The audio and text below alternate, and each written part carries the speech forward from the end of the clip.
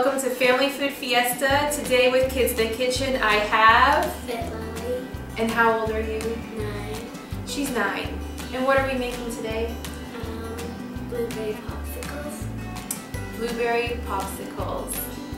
Right now we're going to scoop in um, four spoons into the bowl of yogurt.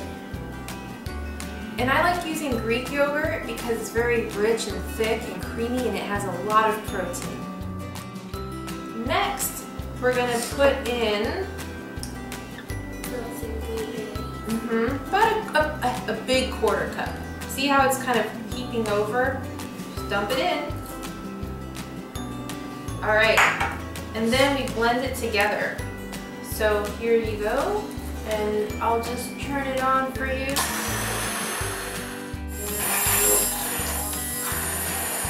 Awesome. Okay, and this is how simple and easy popsicles are. Now, you just fill up the popsicle container. Perfect.